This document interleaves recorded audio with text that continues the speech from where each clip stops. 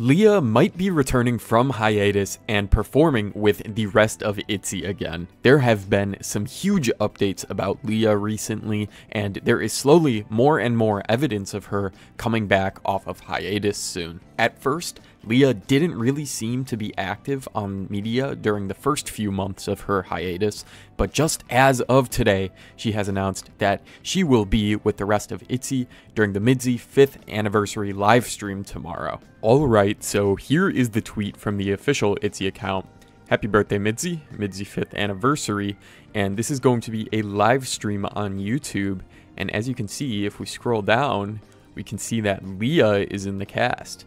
So Lia is going to be in this live stream with her first formal return since hiatus. It's super exciting. You can see everyone is super happy. Everyone is talking about Lia. They're back as five. So it's just very wholesome.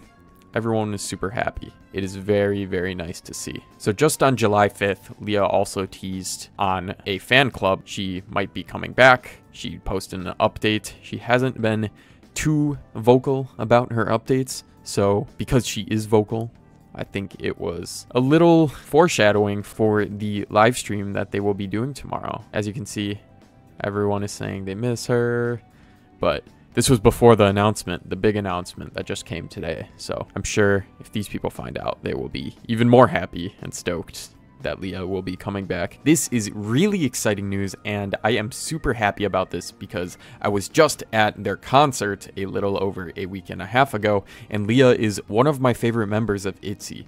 Not seeing her there was pretty sad, but knowing that she is teasing a return and becoming more transparent with communicating on social media makes me excited for what's to come in the future.